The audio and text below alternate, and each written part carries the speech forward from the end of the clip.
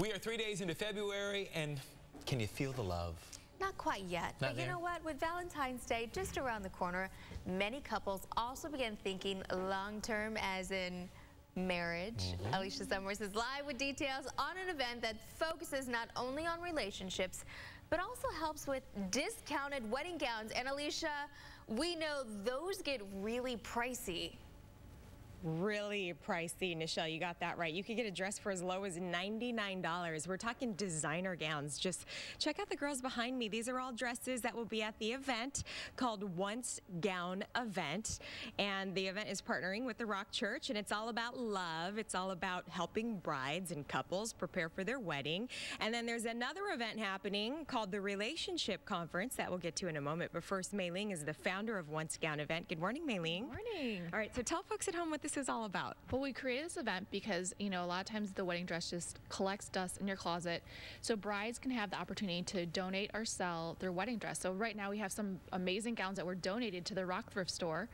So if you have a dress that's sitting in your closet, bring it on down, donate it.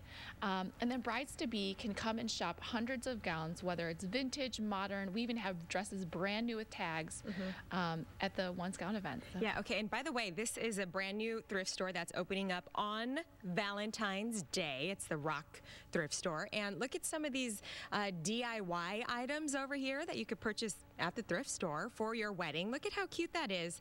Um, and this, again, is open on Valentine's Day. That's why, why don't we walk over here and show some of the gowns on the uh, rack here? These are all donated. And where can folks drop off their dresses? They can drop them off here at the Rock Thrift Store or Sundays at any of the Rock multi-site locations. Mm-hmm. And again, we have vintage dresses, we have designer dresses. Look how pretty. Some of them are brand new with tags. So All right, how much is this? this one's 200. That probably would retail for close to a thousand or maybe 1200.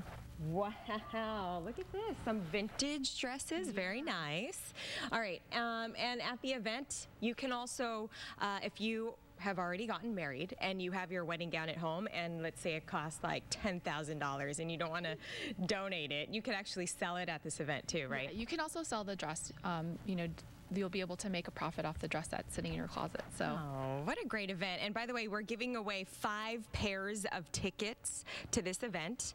Uh, that's happening pretty soon. The date is February 28th. It's from 11 a.m. to 3 p.m. at the University Club downtown. Uh, and then we also want to talk about the relationship conference with Jason with the Rock Church. Good morning. Good morning to you. All right, so we don't just want to, you know, get married. We want to make that marriage last, and that's where this conference comes in, right? Absolutely. There's approximately 1.2 million couples in San Diego, and so we want to make an impact on this community. And so we're hosting the Relationship Conference March 6th and March 7th. The cost is $35. You can check out all the info at sdrock.com.